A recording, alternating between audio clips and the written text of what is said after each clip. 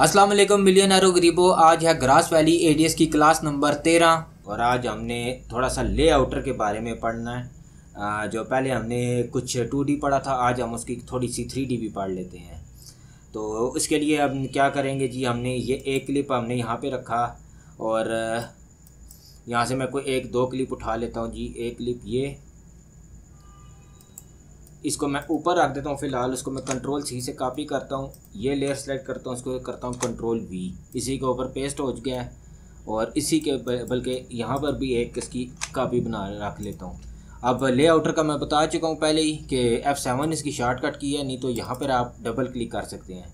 अच्छा to D होता है जो सिर्फ़ एक्स और वाई यानी ऊपर से नीचे और दाएँ बाएँ, वो दिखाता है। थ्री डी होता है जो था उसकी जेड डेप्थ पे भी जाता है यानी वो होती है तीन एक्सिस तो अगर थ्री के बारे में सीखना चाहते हैं तो मेरा एक थ्री डी मैक्स का भी फ़िलहाल तो अभी उसमें इंट्रोडक्शन कोर्स ही है और उसमें भी कुछ क्लासें हैं आप वो भी देख सकते हैं। तो अब हम आते हैं जी थ्री पे। पहले हमने टू ये टू डी बाई डिफ़ॉल्ट भी टू है अब इसको हम कर देते हैं जी थ्री पे। थ्री डी पे जैसे ही किया तो यहाँ पर देखें आपके पास एक बॉक्स बना आ गया जी और इस बॉक्स को वैसे हम थ्री डी मैक्स में ट्रांसफार्म गिज्मो कहते हैं। तो इसके साथ क्या होता है कि मैं इसको एक दफ़ा पहले टू डी में आता हूँ।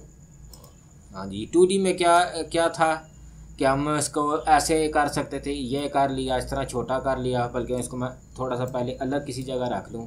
इनको मैं थोड़ा सा क्लिप्स को आगे कर लेता हूँ और अब मैं पहले इधर रख लेता हूँ और इधर रख लेता हूँ जी। लेआउटर पे डबल क्लिक किया जी अब। तो हम यहाँ पे इसको ऐसे छोटा कर सकते थे, बड़ा कर सकते थे, लेकिन हमारे पास रोटेट का ऑप्शन नहीं था। ऐसे रोटेट कर सकते थे, लेकिन वो सिर्फ़ दो एक्सिस में ही कर सकते थे। जब अब जब हम इसको थ्री में करते हैं तो थ्री में हम पहले, सबसे पहले तो मैं इसकी, दोबारा इसकी ठीक कर दूँ। इसको हंड्रेड कर दिया और इसको कर दिया ज़ीरो अब थ्री डी जैसे पे जैसे ही क्लिक किया तो हमारे पास एक ऑप्शन और आ गया। एक अब ऑप्शन में क्या है जी? कि ये देखिए। ये हो गया जी जो एक्स ये हो गया वाई और ये हो गया जेड ये जेड अभी सही क्लिक नहीं हो रहा। अगर आप यहाँ पे भी नोट करें इस जगह पे तो आपके पास ये देखिए, पहले रोटेट का सिर्फ़ एक ही ऑप्शन था। अब यहाँ पर आपके पास आ गया जी एक पहले था आपके पास यानी एक्स वाई और लेकिन अब देखिए ये जेड डेप्थ में भी आ गया अब मैं इनकी वैल्यू ज़ीरो करता हूँ इसकी वैल्यू भी ज़ीरो करता हूँ, इसकी भी वैल्यू ज़ीरो करता हूँ। हम यहाँ से इसको कंट्रोल करते हैं। ये देखिए, ये हो गया जेड एक्सिस और वाई पे जाते हैं तो हम इस तरीके के साथ इसको रोटेट कर सकते हैं। और इसको हम थोड़ा सा यहाँ से क्रॉप करते हैं। थोड़ा सा और कर लेते हैं जी। और अब मैं इसको उठा के थोड़ा सा इधर कर देता हूँ, यहाँ पे रख लेता हूँ और इसका साइज़ अभी मज़ीद हम थोड़ा सा कम करते हैं। साइज़ यहाँ से भी कम कर सकते इसको हम सेवेंटी कर देते हैं।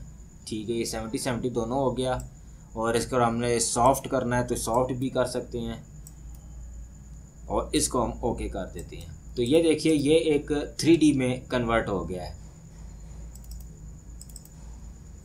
अब इसके नीचे भी हम, इसके साथ हम वही क्लिप रख लेते हैं या हम कोई और क्लिप भी रख सकते हैं।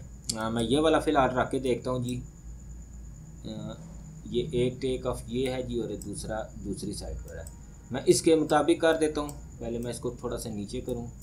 देखता हूँ जी कहाँ से ग्लाइडर टेक ऑफ़ कर रहा है। यहाँ से लेकर यहाँ तक इसको मैं कट कर देता हूँ यानी ऐसे मैं इसको ट्रिम कर देता हूँ।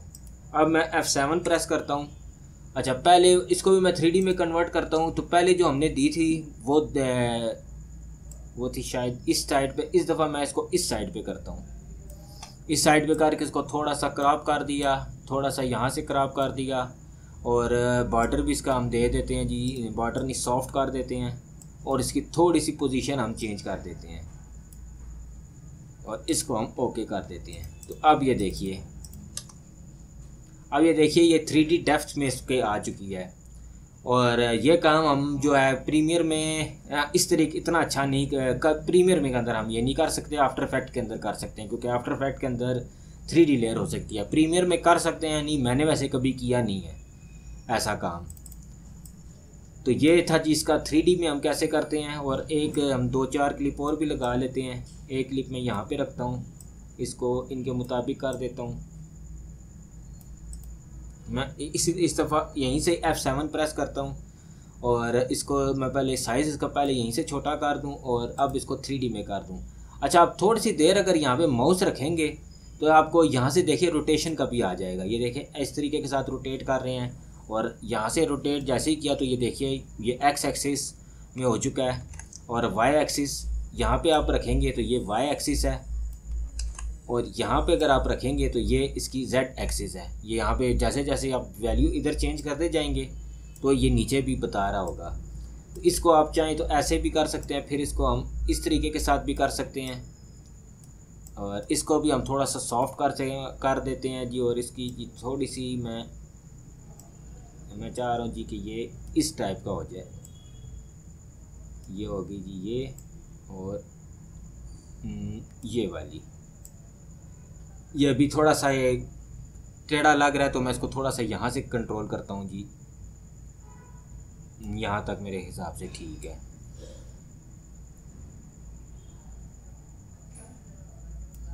और अब इसको थोड़ा सा सॉफ्ट इधर से भी कर देते हैं। ये सॉफ्ट मैं वैसे ही कर रहा हूँ। अगर आपको करना चाहते हैं तो करें, नहीं करना चाहते तो ना करें। अब ये देखिए, ये कुछ इस टाइप का बन चुका है तो लेकिन अब हमने इसको थोड़ा सा बराबर करना है।